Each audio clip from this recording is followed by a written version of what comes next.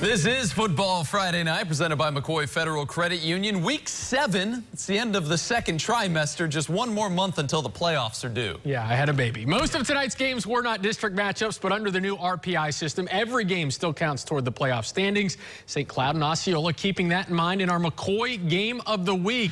This was the 96th meeting between these two teams. Cowboys and Bulldogs started playing back in 1925. Calvin Coolidge was the president. Back to present day. Third play of the game. St. Cloud forgets to cover the guy running down the middle of the field. And Devon Wells finds him. That's Kevin Sanchez. He's going to run until they tell him not to. 6-0 Osceola. Next possession for the Cowboys. This time Dwayne McGee makes one cut. And you can forget about it. He goes 30 yards to the house. 12-0 Osceola. And they just kept going. This time from 33 out, Rashawn Dudley, proud of his figure, showing off the midriff and showing off the speed. He visits the happy place.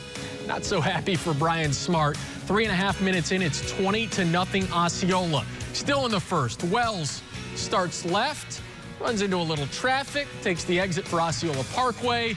And oh yeah, all sorts of room there. Green lights all the way down inside the five. They would score a few plays later. It was 33 to nothing at halftime. After a field goal in the third for Osceola, Cowboys got back to touchdowning in the fourth. Isaiah Jean-Baptiste gets all the way down to the one. He wanted the TD. They'd get it eventually as Osceola pitches a shutout against their longtime rival. Shane Whitehead got to see it all and afterwards hung out with the winning coach. So the 96th meeting between these two schools goes to Osceola. The Cowboys continued their dominance in this series. They've now won 21 of the last 23 meetings with tonight's 43 to nothing win. I mean, I thought we played pretty efficient tonight. You know, we were appreciative the kids get off to a fast start. We did a great job of doing that tonight. Offense great in the first quarter. You had some long touchdowns. Yeah, yeah, we did. We had, you know, had game plan pretty well there for the first couple series and took advantage of that and made a couple big plays. How have you guys dominated this series? You just won your 21st out of 23. Uh, great coaching staff and uh, a bunch of great football players.